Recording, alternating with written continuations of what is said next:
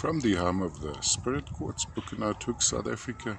Now here we had many different colors, uh, shapes. This I thought was very interesting because you have a largish head sitting on this solid quartz matrix. Another one growing out there. We have the typical telltale patterning in the crystals. This is, uh, I'm not very good with colors, but it's a very pale purplish, uh, uh even grey um, claim to fame for this locality is, of course, the central quartz crystal, surrounded by the tiny little quartz crystals. And then, of course, you always have this telltale uh, uh, phantoming in the in the points of the terminations, which determines the color. So uh, you'd have what you have there. You'd have on the smaller crystals as well. Each one having a tiny shot of color uh, generating the whole color.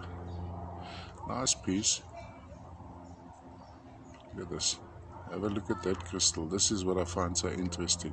Always go for the unusual, uh, out of the ordinary. Now, this color is unusual, plus this this crystal sitting on the matrix together with these others projecting around it, I thought was so unusual.